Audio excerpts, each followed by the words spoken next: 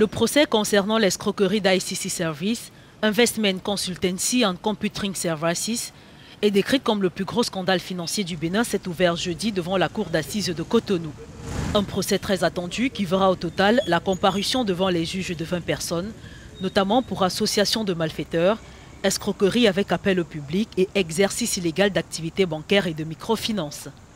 Le gouvernement béninois avait lancé en 2010 un programme de dédommagement des victimes mais des dizaines de milliers d'entre elles réclament toujours le remboursement des sommes investies.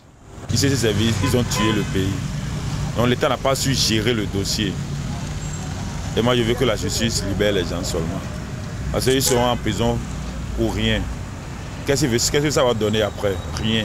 Parce que je suis sûr, aucun des ne sera, ne sera payé. Aucun.